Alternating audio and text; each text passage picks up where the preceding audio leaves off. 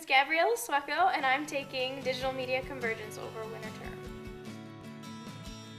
I've had no experience using a video camera.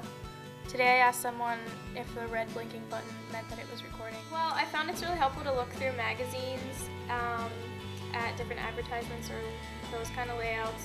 And I've taken pictures, but never to the extent of what we're doing now in class. My favorite project so far was when we did surreal photography, and that was just kind of when we took pictures and distorted them in Photoshop and made them look not real. Chocolate or vanilla? Chocolate, Coke or Pepsi? Pepsi, Simpsons or Family Guy? Family Guy.